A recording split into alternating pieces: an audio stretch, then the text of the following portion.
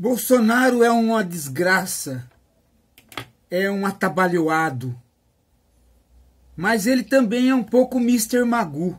Lembra daquele personagem Mr. Magoo que fazia as coisas erradas porque ele era cegueta, né? mas acabava se safando e dando certo? O Bolsonaro. Ele é um militante de direita. Então, ele poderia, né, junto com o Guedes, tentar uma privatização da Petrobras. Mas ele não tenta isso, porque o compromisso dele com parte do que restou de um certo nacionalismo nas Forças Armadas o impede de entrar nesta campanha. No entanto, sem querer, ele faz essa campanha. Por quê? Porque hoje ele fez uma intervenção na Petrobras fora de hora. Veio o preço da Petrobras para os combustíveis, para o diesel. O diesel ia ser aumentado. A base reacionária que ele tem entre os caminhoneiros e motoristas reclamou com ele e ele foi lá mandou parar para fazer populismo com os motoristas. Não subiu o diesel.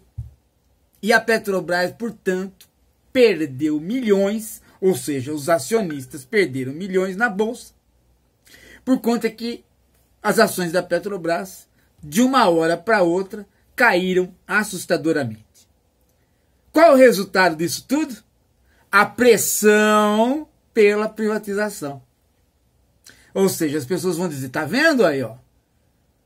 Tanto faz a direita como a esquerda, se não é uma companhia autônoma, Sempre tem um presidente para fazer populismo e fazer com que ela perda, perca o seu valor. E aí vem a pressão para privatização, com a conversa de que se fosse privada não teria esse tipo de intervenção, os preços seguiriam o mercado e o nobre mercado com sua mão invisível resolveria todos os problemas e os preços se ajustariam a conversa fiada da privatização vai reaparecer por conta de uma ação atabalhoada do Bolsonaro.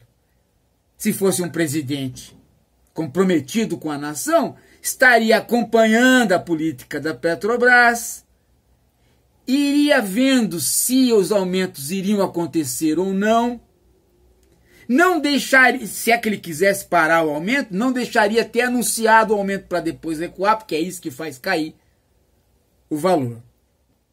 Mas é o Mr. Magoo. Mesmo quando ele toma uma atitude que parece não favorecer a direita, favorece. Bolsonaro é aquele é aquela espécie de é que ele é o próprio meteoro, né? Ele vem para destruir. Mas está sempre destruindo a seu próprio favor.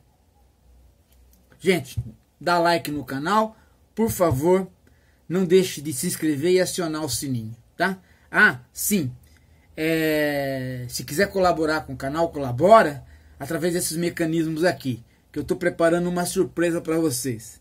Eu estou preparando aí, não é para agora, nós estamos preparando. A partir da maneira que vocês vão colaborando, nós estamos preparando a volta do Hora da Coruja, uma vez por mês pelo menos, dentro do canal.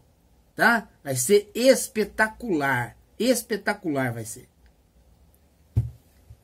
Daqui a pouco eu volto.